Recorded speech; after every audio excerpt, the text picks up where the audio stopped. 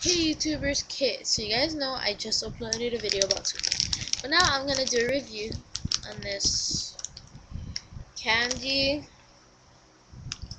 that eight cents at Walmart.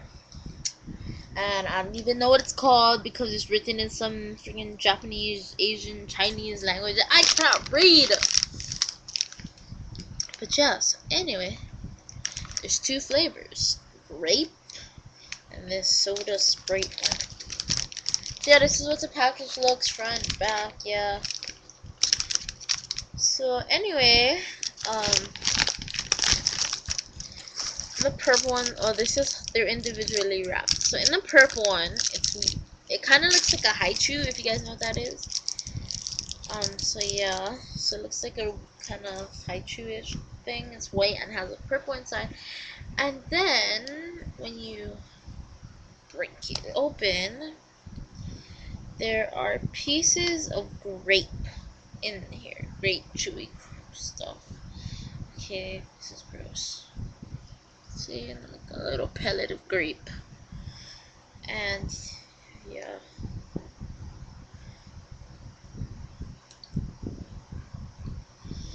There's usually two, but I guess I got shortchanged time.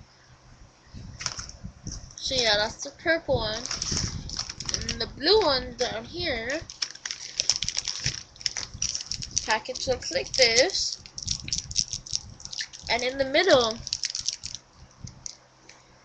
there's like this fizzy thing in it, like like what sodas use.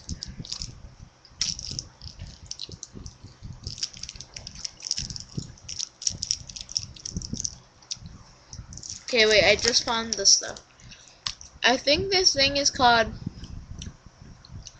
Mikakuto or Puccho Bag Grape and Soda Candy. I don't know. Whatever.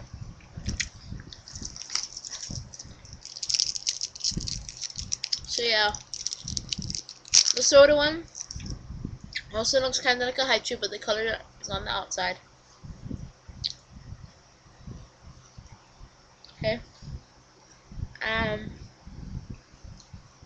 let's see if I can work this open for you guys without doing anything. Okay, uh, see, like, it's just like a powder inside.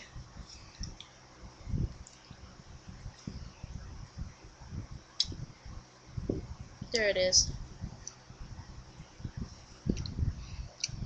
See, it has like a little tablet. Like, you know those soda candies? You know, soda little containers?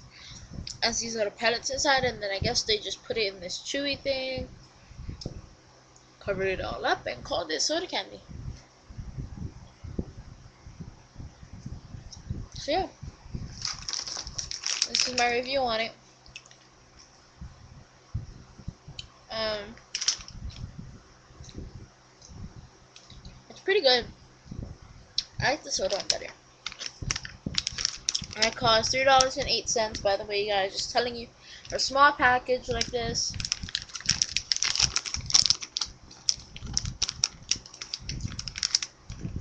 Yeah.